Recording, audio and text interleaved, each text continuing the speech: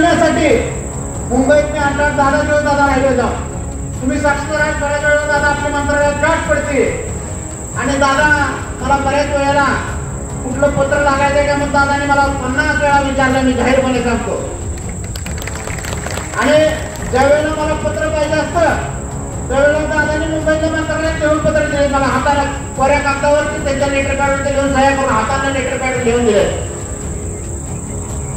दादा पहिलं माझं काम आहे गुरसाळ्याचं प्राथमिक आरोग्य केंद्र माढा विधानसभा मतदारसंघातील गुरसाळे गावासाठी बत्तीस कोटी सहासष्ट लाख रुपयांचा निधी आणून या गावातील धडाडीचे सामाजिक कार्यकर्ते रामभाऊ गायकवाड यांनी करिश्मा केला असून एवढा मोठा निधी एकाही गावाला मिळाला नसेल त्यामुळे रामभाऊ गायकवाड यांच्या कार्याचं कौतुक करावं तेवढं कमीच आहे अशा शब्दात आमदार बबनदादा शिंदे यांनी रामभाऊ गायकवाड यांच्यावर कौतुकाचा वर्षाव केला.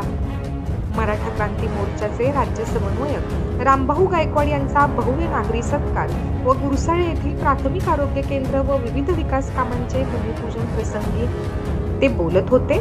यावेळी बोलताना रामभाऊ गायकवाड यांनी बबनदादा शिंदे यांना माढा विधानसभा निवडणुकीत राष्ट्रवादी शरद पवार पक्षाचे तिकीट मिळवून देण्यासाठी मी स्वतः प्रयत्नशील असल्याचे सांगितले.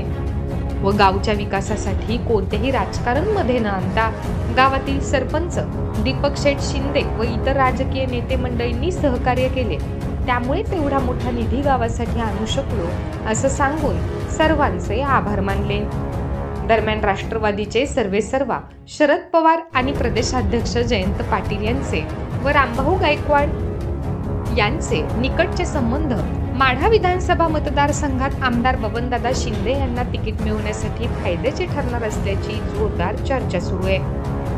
यावेळी बोलताना राष्ट्रवादीचे जिल्हाध्यक्ष बळीराम काका साठे यांनीही बबनदादा शिंदे यांना तिकीट देण्यासाठी होकारार्थी सूचक वक्तव्य केल्याने रामभाऊ गायकवाड यांचे बबनदादा शिंदे यांना तुतारी मिळवून देण्यासाठीच्या प्रयत्नांना यश मिळणार असल्याचे संकेत दिसून येत आहेत. यावेळी ग्रामीण विकासामध्ये जनतेचा सहभाग या विषयावर पाटोदा जिल्हा बीड येथील भास्करराव पेरे पाटील यांचे व्याख्यान झाले. राष्ट्रवादी शरद पवार पक्षाचे जिल्हाध्यक्ष बळीराम काका साठे यांनी रामभाऊ गायकवाड यांचे कौतुक करताना आपल्या गावासाठी निधी कसा खेचून आणायचा हे रामभाऊ कडून शिकावे. ते निधी आणण्यासाठी कुठेही कमी पडत नाहीत असे सांगितले. यावेळी उपस्थित मान्यवरांचा व रामभाऊ गायकवाड यांचा सपत्नीक सत्कार करण्यात आला.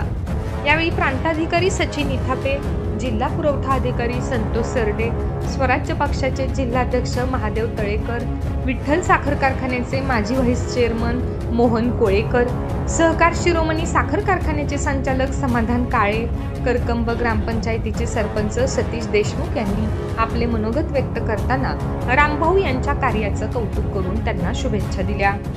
यावेळी सोलापूर जिल्हा परिषद सदस्य वसंतनाना देशमुख श्रमिक मुक्ती दलाचे जिल्हाध्यक्ष मोहन अनपट जिल्हा आरोग्य अधिकारी संतोष नवले राष्ट्रवादी महिला आघाडी जिल्हाध्यक्ष वर्षाताई शिंदे गुरसाळे ग्रामपंचायतीचे सरपंच दीपक शेठ शिंदे उपसरपंच अनिल खरात ग्रामसेवक कुंभार सुधाकर कवडे यांच्यासह गुरुसाळे परिसरातील चार हजारांहून अधिक ग्रामस्थ व महिला भगिनी मोठ्या संख्येने उपस्थित होते. आज आम्ही प्राथमिक आरोग्य केंद्राचं भूमिपूजन केलं.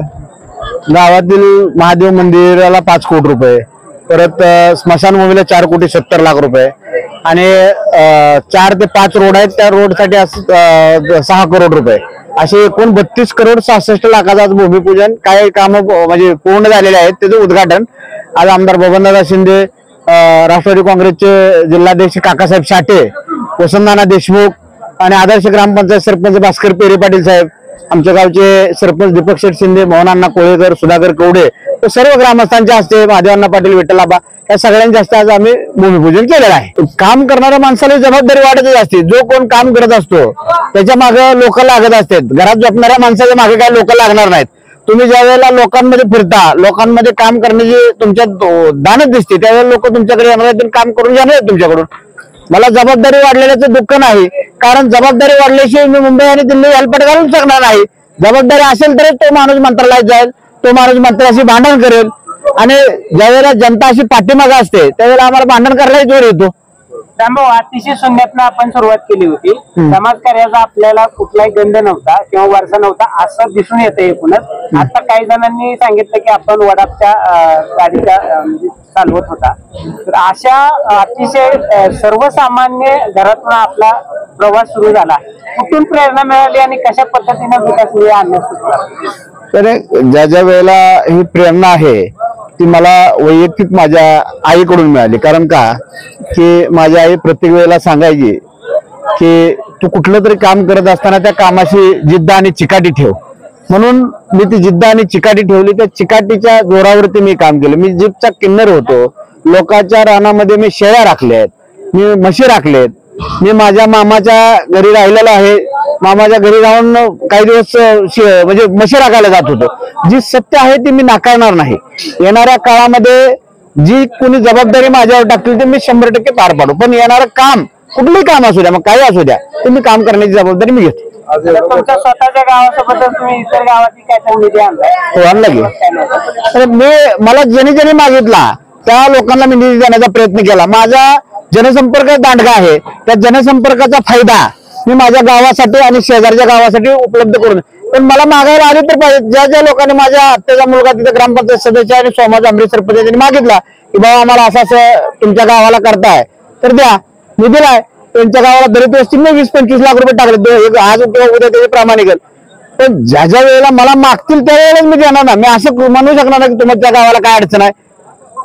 महत्त्वाचा एक प्रश्न असा आहे मगाशी बोलताना काही जणांनी व्यक्त केला की गावामध्ये निधी आणणं सोपं असतं त्याचा पाठपुरावा करणं अवघड असतं परंतु निधी आलेला परत आपसातल्या मतभेदामुळे परत जातो तर ह्याच्या संदर्भात संपूर्ण महाराष्ट्रातील ग्रामीण भागातील ग्रामस्थांना काय सांगायला? आणि मी माझ्या गावाचं मी शंभर टक्के उदाहरण देतो की माझ्या गावात आलेला निधी आमच्या गावातून कधीही माघारी गेला नाही माझ्याबरोबर आता सध्या ज्याला सरपंच दीपक शेठ शिंदे होते त्यावेळेला माझे विरोधक आणि आजही आहेत. मी कधी नाकारत नाही. पण विकास कामामध्ये आमच्या गावामध्ये कधीही दुजाभाव केला जात नाही. आलेलं काम त्या ठिकाणी टाकलेलं काम नाव तुम्हाला माहीत आहे पंचवीस पंधराला टाकलं असतं रामभाऊ गायकवाड घर ते जाधव वस्तीघर पाटील माळा ते लोखंडे वस्तीघर. त्याच्यामध्ये आम्ही बदल करत नाही. कुणी सांगू द्या पण आम्हाला तिथे करायचं आम्ही करतो. इतर गावच्या सरपंचांना आणि एकूणच पुढारी मंडळींना काय सांगायला पाहिजे मी काय म्हणतो माहिती का? पुढाऱ्यांनी गावात बसून नाही पाहिजे. पंचायत समिती जिल्हा परिषद मुंबईला गेले पाहिजे. आणि एकदा आकरून लावलं की ते माणसांना निराश हाताच नाही झालं पाहिजे. मला लय आकरून लावले.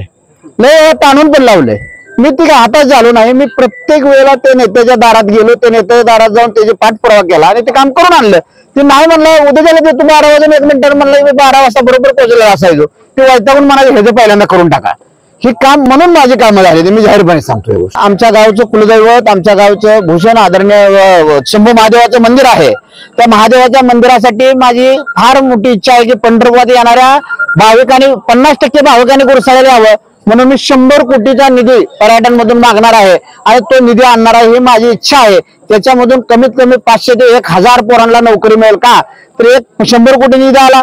बेळवाला चहावाला पानटपरीवाला ही सगळी लोक तिथे जगतील लॉजिंग तयार होईल. ह्याच्यासाठी मी पाठपुरावा राज्य मंत्रिमंडळात करणार. येणारं कुठलंही सरकार असू द्या त्याच्याकडून मी काम करून घेणार. ही माझी अंतकरणापासून मी महादेवाच्या चरणाला शपथ घेऊन सांगतो ही माझी इच्छा आहे.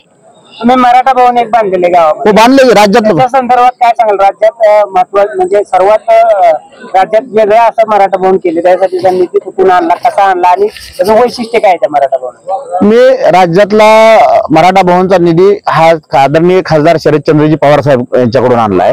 त्याच्यासाठी कशासाठी आणला? पवार साहेबांना म्हणलं की साहेब राज्यातल्या मुलांसाठी हॉस्टेल व्हावं किंवा मुलांना राज्यातून येणारी जी आमच्या पंढरपूरला भाविक आहेत त्यावेळेला ते भाविकांचा मला त्रास व्हायचा की रामभाऊ आपली लोक आले ते रेस्ट हाऊस माझ्या नावानं दोन खोल्या तुम्हाला माहिती आहे कायमच असायच्या. ह्याचा त्रास कुठेतरी होऊ नये. येणाऱ्या माझ्या मराठा भाऊ ब- बंधूंना पंढर तिथे गुरुसाहेब राहायला व्यवस्था व्हावं. त्याच्यामध्ये लायब्ररी व्हावी. ह्याच्यासाठी मी शंभर टक्के प्रयत्न केला. ते झाले आता फक्त बांधकाम पूर्ण झाले आता राहिले फक्त त्याचं फर्निचर येणाऱ्या दहा ते पंधरा दिवसात त्याचं म्हणजे एक दोन ते तीन महिन्यात त्याचं पूर्ण उद्घाटन करू. दुसरं मी जिम आणली पन्नास लाखाची राज्यातली खेडेगावातली पहिली जिम गुरुसाहेब असेल. इतकी पन्नास फूट लांबी आणि तेहतीस फूट रुंदीची जिम आणली त्याचंही काम चालू आहे. म्हणजे माणूस जर चिकाटीनं जिद्दीनं तिथपर्यंत पळत गेला तर ती शंभर टक्के काम होतं एवढंच मला सांगायचं बाकी काय नाही दीपक शेठ अं, तुम्हाला रामभाऊचं आजपर्यंत निधी आणण्याच्या बाबतीत तुमचं सहकार्य लाभलंय. रामभाऊचं एकूण कार्यशैली तुम्हाला कशी वाटते हो रामभाऊचं काम करण्याची पद्धतच वेगळी आहे. हा त्यांनी जेवढं बोललेत तेवढा निधी आणलाय. त्याच्यापेक्षा दहा कोटी रुपये ज्यादा निधी आणला आम्ही सगळी चेष्टोवर घालवत होतो. हे शक्य नाही निधी येणं हे बोलतात तेवढं शक्य नाही. आणि शक्य करून धावले. खरं तर ग्रामीण विकास करत असताना कुणातरी एका कार्यकर्त्यानं स्वतःला गाडून घ्यावं लागतं. आणि ती भूमिका रामभाऊ गायकवाड यांनी पार पाडलेली आहे. निश्चितपणानं महाराष्ट्रातल्या अनेक तरुणांना हा एक आदर्श आहे. जिद्दीनं झपाटून काम केलं तर आपल्या गावासाठी कोट्यवधीचा निधी एखादा युवक कुठलंही पद नसताना आणू शकतो. हा आदर्श रामभाऊ गायकवाडच्या माध्यमातून महाराष्ट्रामध्ये निर्माण होईल